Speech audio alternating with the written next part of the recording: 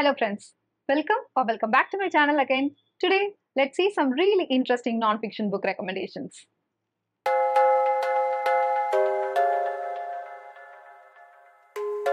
When it comes to fiction, I read fantasy, I read magical realism, I read historical fiction, I read anything that is put out to me. And when it comes to non-fiction, it is the same. I read a plethora of genres and I love reading science, history, memoirs, and so much more. So this recommendation is going to have all those genres as a mixture. And I have three categories to talk to you today. One is science, the other is memoirs, and the last one is history. So now let's get on with the memoir section. So I have three memoirs here. The first one I want to talk about is Born a Crime by Trevor Noah.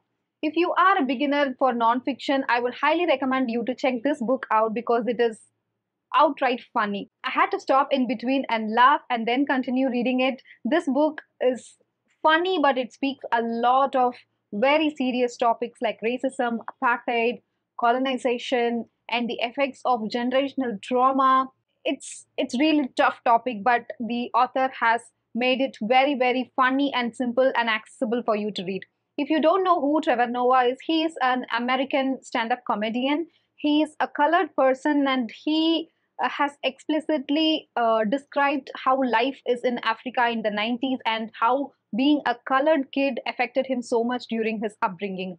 And he talks about his mother his father who's from switzerland and how uh, he maintained that relationship between both of them and how domestic violence was there a part of uh, african culture for so long and it, it's really really very interesting to read about the african culture during the uh, 90s but i found it very very similar to indian culture at the 50s and 40s so we are a little bit ahead of them but there's no much difference. And this is a book that you have to read and enjoy and it also can be informative because I, for one, uh, learned a lot about African culture and the apartheid, which I didn't know much about before.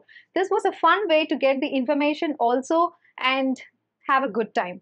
So I would highly recommend you to check this out. Next is a book that I'm currently in the middle of and I'm halfway through it, more than halfway through it, and I love it so much and I wanted to recommend this to you. The book is In Order to Live by Yeonmi Park. So this is a story of Yeonmi Park and she is someone who has escaped from North Korea and she's just telling us the story of her escape and her life during uh, her times in North Korea and you get to learn a lot about North Korea which we generally don't get to know uh, because I for one haven't uh, had any idea about North Korean culture or North Korean government or its imposition and oppression on people.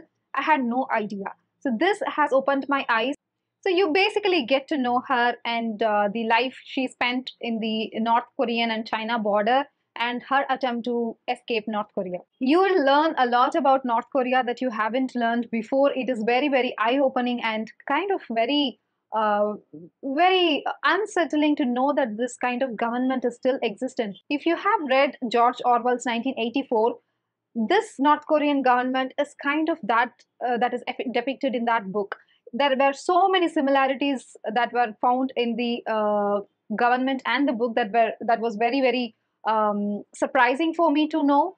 If you know what I'm talking about, the concept of doublethink, which is mentioned in the 1984 book, it's playing a huge role in this uh, uh, tactics of the government, and it's really very interesting and very very sorrowful to read. Uh, although this is a story of hope also and uh, you need not worry about the uh, sorrowful part she describes a lot of happy memories also which was really very heartwarming and i really feel for her and i think that everyone should read about this story of survival and of freedom and of hope. Next is a book that I have recommended multiple times on this channel. If you have been following me, you this would not be a surprise for you. And I'm talking about The Happiest Man on the Earth by Eddie Jaku. This is a story of a survivor of the Auschwitz concentration camp by the Nazis. This story is really impactful and power-packed and I, I, I really want every one of you to read this book because it's fairly short and I have annotated this like hell and this is a book that I have reread also this time. This man will just steal your heart. He has gone through so much of uh, unspeakable sorrows and still calls himself the happiest man on the earth. So this will just put you on a perspective mode to look at your life and reflect upon the things that you have gone through, but still you can have hope and love your life no matter what. So this story will give you a glimpse of the history of Nazis uh, concentration camps and the kind of political setup that was during that time and all the unspeakable horrors that happened in the Auschwitz camp. It's really heart-wrenching, but it's a story of hope again. So these kind of stories I love because it ends with a positive note and uh, no matter what happens to you, you can still choose to be happy. That is what the book says and I stand for it. So I highly recommend this to you. That is all for the memoirs and we are moving on to the history section of this recommendation and the first book is Kohinoor by William Dalrymple and Anita Anand. This is the story of the most infamous diamond of the world, which was in the Indian history for so long and it has gotten into the British hands much later during the independence time. This is a kind of uh, a story which does not only talk about the British imperialism, but much before that, uh, when uh, many of the kings or the Mughal emperors who had this in their hands, like Shah Jahan and so many more, and uh, people tend to think that this diamond has been cursed because those who have uh, been holding on to it have been eternally dead. So this is kind of told in an interesting story where uh, they have done the most justice to the history that have been uh, not the part of what we usually read. So they have done a lot of work in collecting the um, history, collecting the documents, collecting the facts about this uh, Kohinoor before the actual history we have. So uh, I found this very interesting. I found it very entertaining and uh, the fact that how British people took this from a very young 10 year old Punjabi king, uh, I think his name is Dalip Singh or something, I'm not sure, but the king was only just 10 years old and they took it from him. And uh, to read the entire history of the Sikh kings uh, during that time was very, very interesting. It uh, also includes a lot of topics like Sati system and everything. So it is not just the story of this diamond, it is story of us, of our history, of our ancestors, of our struggle for freedom, of our struggle for identity. And it was very overwhelming when I finished it. It is really, really a very nice book and it, it has the entire history of this diamond. If you're looking for something like that, to read and to get to know our history, I would highly recommend this book check it out. So the next book is the book that I'm really, really very excited for because this is a, a history of our planet. So this can be a mixture of history and science and geology. So this is a very, very, very favorite book of mine. I enjoyed it thoroughly and that book is The Ends of the World by Peter Brannen. So Peter Brannen is a kind of a journalist who is also interested in paleontology. He's interested in fossil collection and those things. So that led him to writing this book basically and he has written about the five major mass extinctions of the earth. So you, if you think that the extinction that killed the dinosaurs are the biggest one, then you are wrong and you are in for a big surprise. There is one more biggest event of extinction that happened before that Jurassic event and this uh, will talk about that. You will be in a very very huge shocking surprise because that was the biggest mass extinction and that killed almost 99% of the creatures of the earth. And this book since it is not written from a paleontologist perspective or not by a scientist this is very very uh, accessible. The language is very good. He tells it like a story. He tells you how the meteoritic factor uh, was involved in the extinction of dinosaur play a huge role. And uh, the story of its discovery was well written well documented. I, I loved my time with this book. It was so entertaining so scientific so uh, informative and it is so dramatic if you think of it. It's really really very well done. I would highly recommend you to check this book out. This is one of my very very favorite non-fiction books of all time the next book is the most famous book uh, out there for nonfiction. You can see this book in every nonfiction recommendation, and I also included this because I feel like everyone should read it. And that is The Sapiens A Brief History of Humankind by Yuval Noah Harari. Think of this book like if some alien comes to this world and uh, it has been watching us without involving itself for the past two lakh years or since the earth formed or something like that if that alien wrote a book, I think it would be like this because the author has detached himself from the uh, writing, detached himself from the happenings that had happened in the earth for past uh, so many years. He does not put any uh, of his own thought in it, but kind of a mere observation of what happened. And that is what I liked in this book so much. This does not lean towards any kind of uh, theory or any kind of religion or any kind of racism or anything for that matter. He has just documented what had happened in this earth for so long. That is really a very interesting take. You will never see the uh, earth uh, the same again after reading this book. It's really, really um, gives you a very interesting perspective on many things like money, like religion, like agriculture. So many things have been discussed with a very new perspective. I loved it, but this is not beginner friendly. You have to sit with it for it to uh, like it. So I think that if you give it time, you will love it. I have read this book and its sequel, Homo Deus. Homo Deus speaks about the future, and that was also very, very interesting. And these two books, as a duo, was just mind blowing for me to read. It is really very captivating and I am thinking about the future and I think about the past, and it's really uh, a kind of, I'm in the fifth dimension of time where I can see everything. It's a weird way to express myself about this book, but this is what it made me feel. And I highly recommend this book and Homo Deus for you to check out. The last history book that I want to talk to you about is a book about history of us, Indians, and how did we come and settle here where did we come from? For how long we are in india? This is what this book talks about and this is the best book out there to read for this kind of topic. And that is early indians by tony joseph.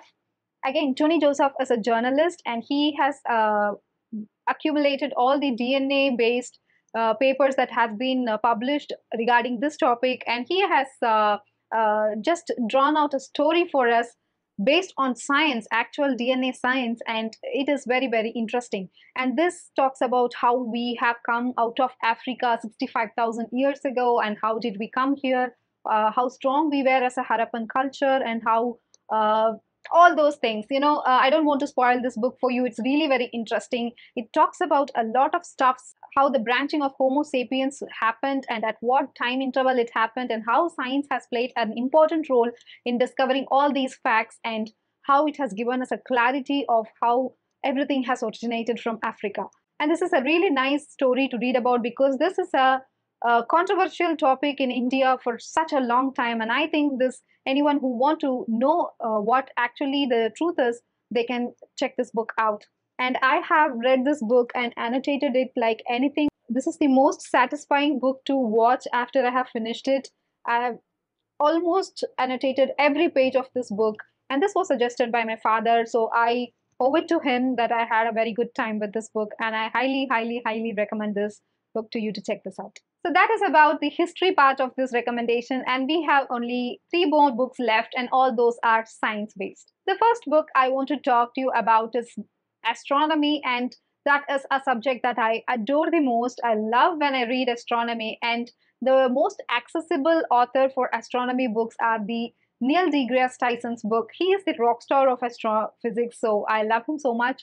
And this book is written by, and that is the Astrophysics for People in a Hurry, and it's by Neil deGrasse Tyson. This is a fairly short book, and you can read it just in an hour or so. And this is a very brief gist of what we know about astrophysics so far. And he has documented in a very funny and accessible way. And like this says it is for the people in hurry and you just uh, read it in a whim. And it is very very short. And um, this talks about um, uh, the discoveries of black holes. This talks about the discovery of gravitational waves. And this talks about big bang theory. If you are someone who are looking for some uh, astronomy books to have fun with, this is the book that you can check out. The next book is a book that was gifted by my father and this is a book that I adore because not only it is very informative but it is also such fairy tale-esque edition of Woman in Science by Rachel Ignotofsky. I think she is Russian and I'm pronouncing it wrong but this is a compilation of all the women scientists and their history. So this book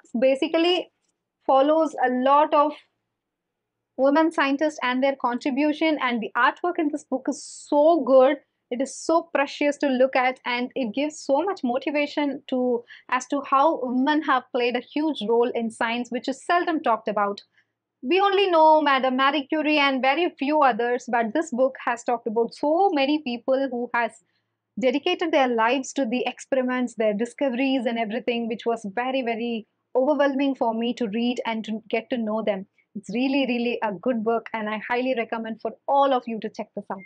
The last book that I want to talk to you about is, is written by an American based Indian neuroscientist, and he's kind of considered as the Marco Polo of neuroscience. And that book is Telltale Brain by V.S. Ramachandran.